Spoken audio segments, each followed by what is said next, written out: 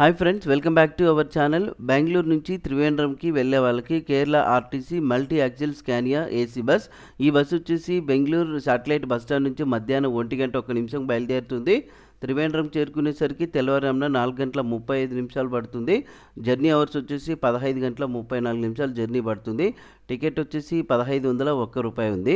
మరి ఈ బస్సు ఎలా వెళ్తుందంటే వయా మైసూరు గుండాల్పేట్ సుల్తాన్ బత్తేరి కాల్పెట్ట తామరసర్రి కోజికోడ్ కొట్టాకల్ ఎడప్పాల్ త్రిశూర్ చాలక్కుడి పెరంబవూర్ మూవట్టపూజ కోటాయం తిరువల్ల చెంగనూర్ అదూర్ కొట్టారక్కార కీలిమనూర్ మీదుగా త్రివేంద్రంకి అయితే చేరుకుంటుంది. మరి ఈ బస్సు మైసూరుకు చేరుకునేసరికి నాలుగు గంటలు అవుతుంది.